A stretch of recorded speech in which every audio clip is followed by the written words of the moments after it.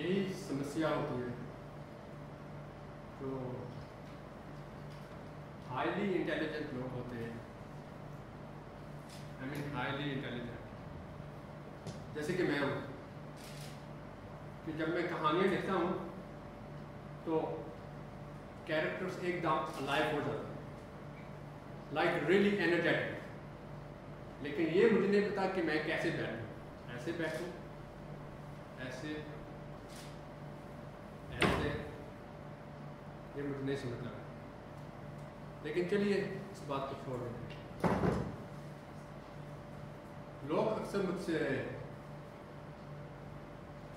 ये सवाल करते हैं कि इतनी सारी कहानियाँ की प्रेरणा मैं कहाँ से लाता हूँ? सवाल जायज़ है, क्योंकि I am just very good in writing जैसे मैंने कहा, मेरे कैरेक्टर्स लिटरली अलाइव हो जाते हैं। आज आप लोग देखेंगे। तो यहाँ से मैं आया हूँ, वो काफ़ी दूर एक जगह है। इंडिया में आया हूँ, यहाँ कहानियाँ लिखता नाम how do I do this people always ask लेकिन मेरा ये कहना है कि कहानियाँ तो कहानियाँ होती कहानियों का देश से क्या लेना देना कहानियाँ has to do with two things character and then emotions. That's it. अब देखो, मेरे जैसा कोई आदमी सुबह उठता है, नौकरी करने निकल जाता है ऑफ़िस से पहले ऑफ़िस पहुँचने से पहले उसकी मुलाकात एक ऐसे शख्स से होती है, जो उसकी आगे की ज़िंदगी बिल्कुल बदलने वाला है।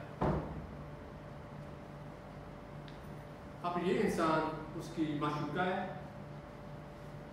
चोर या फिर लॉटरी, ये मुझ पाले लेकिन जैसे कि मैंने कहा, कहानियाँ हर कहीं देर एवरीवेयर जैसे कि एक सुनसान सड़क पर एक छोटा सा बच्चा जिसकी आँखों में जिसकी आँखों में आँसू। या फिर एक पहाड़ में, एक खूबसूरत लड़की जो मुझ जैसे आदमी को देखकर मुस्कुरा रही या फिर बारिश में भीगते हुए दो प्यारे पंछी। बस स्टैंड पर खड़ी हुई। एक परेशान माँ। माँ से याद आया दो बहनों की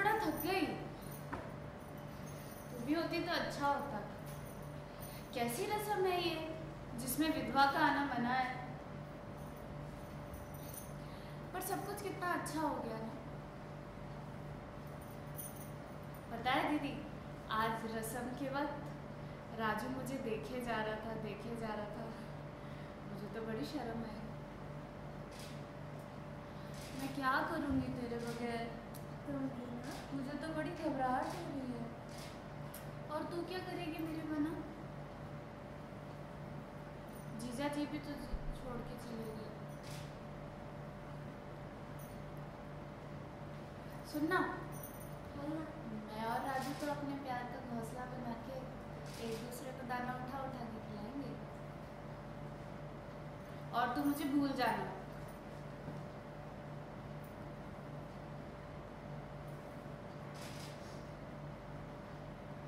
किसी बंधन बन गई है ये चूड़िया?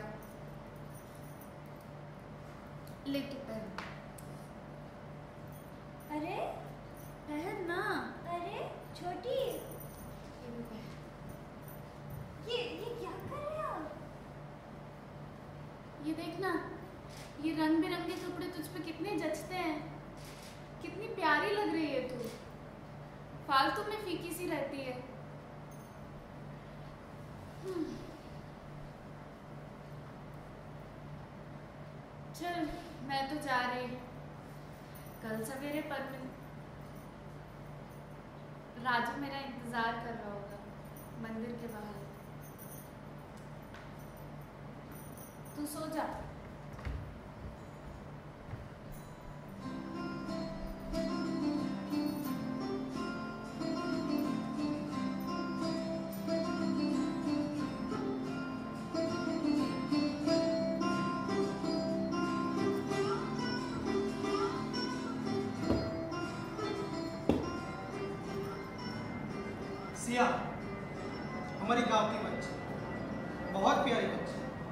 और मैं इस गाँव का सरपंच उसका रिश्ता तय हुआ है गाँव के बुरे जमींदार के साथ।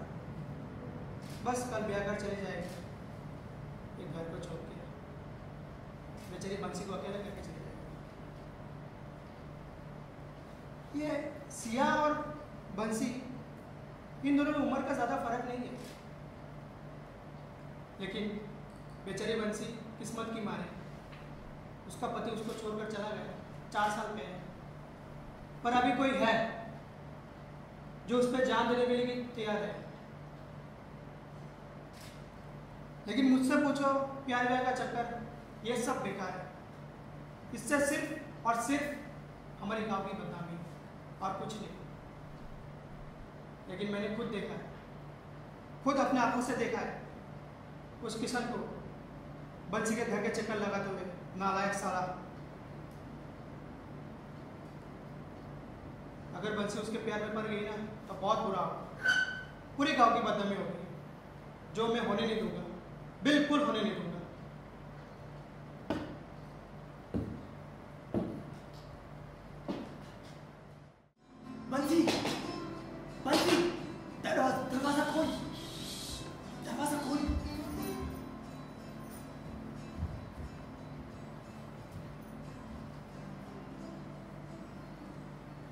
चार साल हो गए तेरे पति को गए हुए।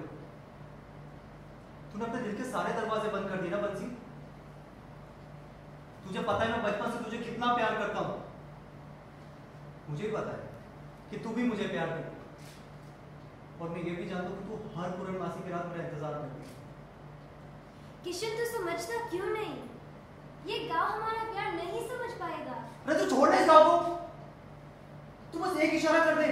हम शहर जाके एक नई ज़िंदगी की शुरुआत करेंगे। तू बस एक इशारा कर दे यार। छोटी जाग जाएगी।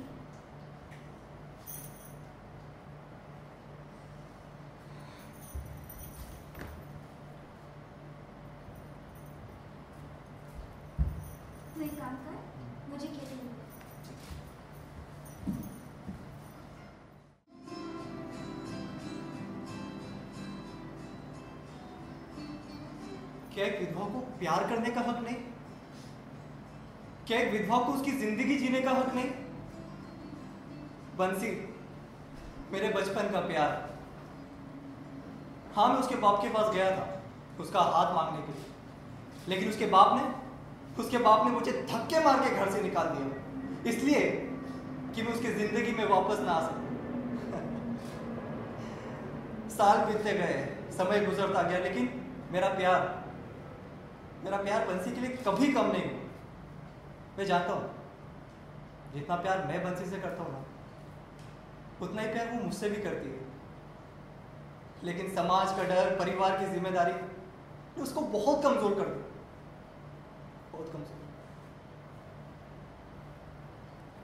किशन ये गलत है। क्या? हमारा साथ होना। क्यों? क्योंकि मैं एक विधवा हूँ। मुझे प्यार का हक नहीं है। अरे तुझे प्यार करने का हक नहीं मुझे तो है।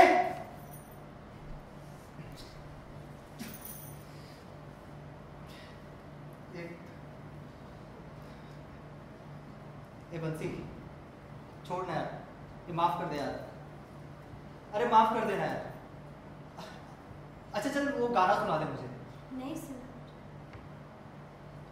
नहीं सुना ना? नहीं सुना ना? नहीं। चल ठीक है। ठीक है मैं चला जाऊ। जाऊ? ठीक है मैं जा रहा लग जा के फिर ये हँसी।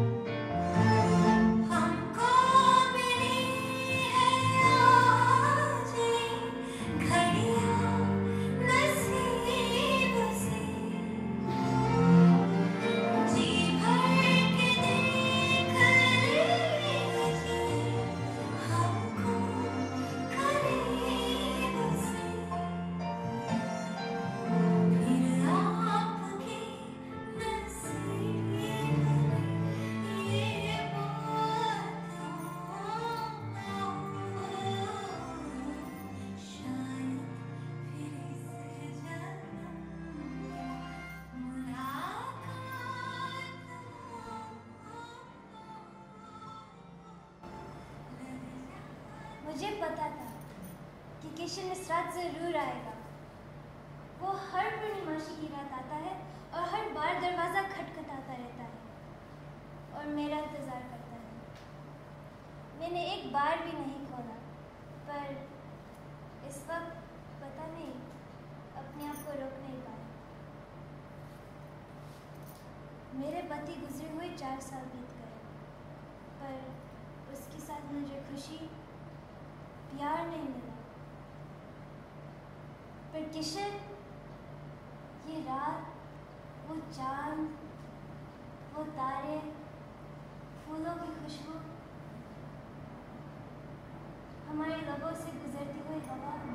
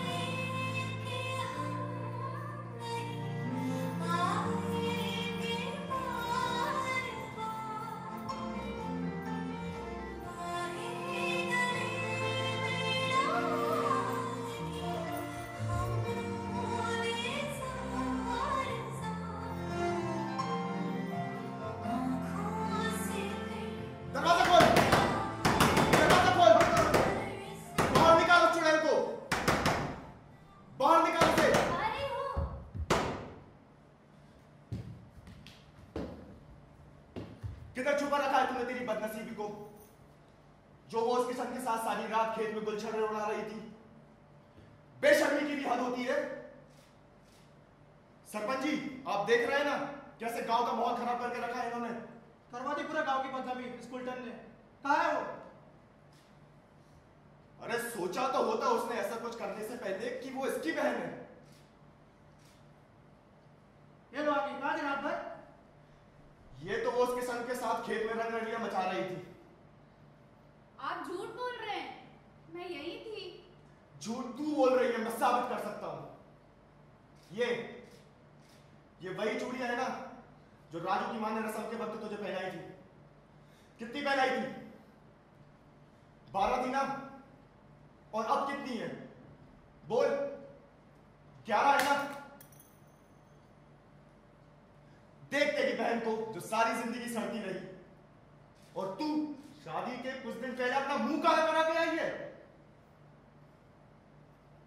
राजू तू क्यों मूर्ति की तरह शांत खड़ा है कुछ बोलते क्यों नहीं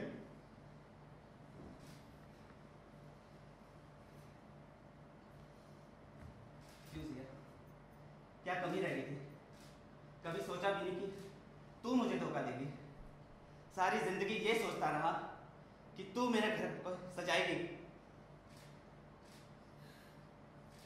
अच्छा सिला दिया तूने मेरे प्यार का। अब तो तू देखती जा। मैं देखता हूँ तुझसे कौन शादी करता है। सच पूछो तो तू जीने के लायक भी नहीं है। मर जा जाके कहीं, उसी के लायक है तू। मेरी छोड़ अपनी बहन के बारे में तो सोच लेती जिसे सारी ज़िंदगी अपने आप को मारकर तेरी खुशी चाहिए। देख उस बहन को क्या गलती थी उसकी? मेरी क्या गलती थी? मेरी माँ की क्या गलती थी? तुझे कभी माफ़ नहीं करूँगा मैं। जा डूब मर कहीं।